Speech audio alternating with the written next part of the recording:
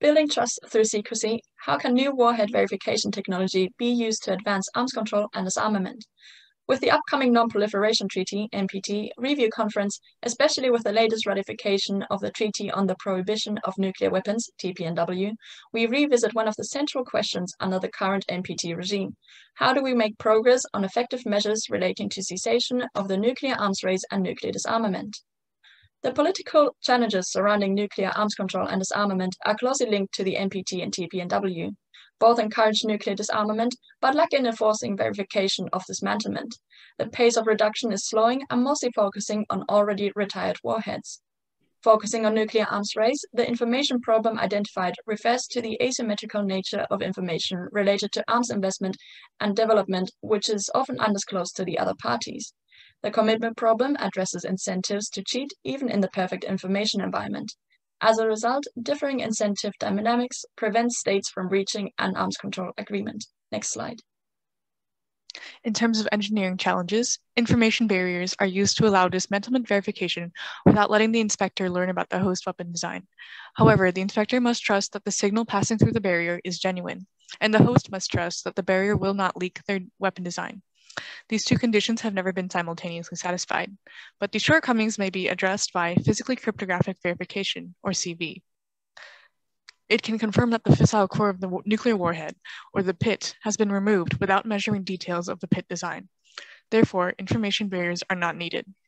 The first method uses a superheated emulsion detector calibrated against a reading directly complementary to the reading of the genuine pit chosen by the detector. Um, by the inspector. When the genuine pit is measured by the detector, the result is a completely blank reading. But when the decoy pit is measured, there is a distinct difference in the reading. The shape does not fit in the hole. A similar procedure using nuclear isotopic resonance requires hosts to produce a filter to place between the pit and the detector. When the genuine pit plus the filter are measured in a neutron beam, excess signals from the filter mask the specifics of the pit design. Then the genuine pit is replaced by the next pit, and this reading is compared to the genuine reading.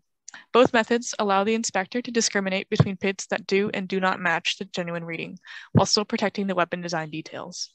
This demonstrates that CV provides a tangible and actionable method for disarmament pledges to become reality.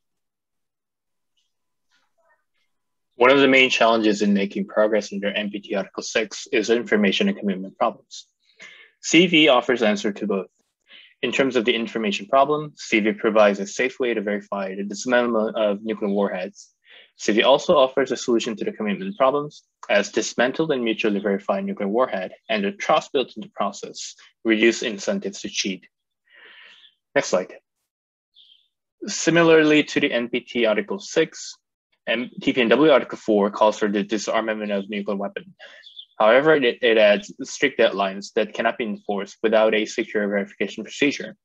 The use of CV provides a secure framework to progressive dis dismantlement.